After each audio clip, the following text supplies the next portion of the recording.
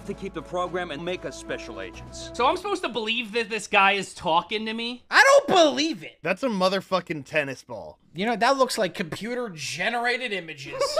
But if we fail, we blow a case they've been trying to crack for two years. Hey, I'm nine inches tall. I only see the upside. Oh, look at that CG Force logo. That was kind of fire, though.